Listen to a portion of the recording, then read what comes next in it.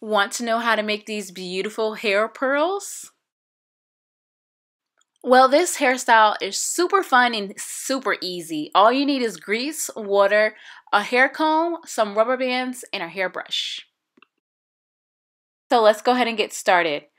The first thing you want to do is go ahead and choose your part. You can decide however you want to do it, big, medium, or small. I chose to do mine a little bit bigger than usual because I was on crunch for time. Once you've parted the hair, you want to make sure that you actually comb through all of the hair and grease the whole outside of the actual part. Once you've done that, the rest is really easy.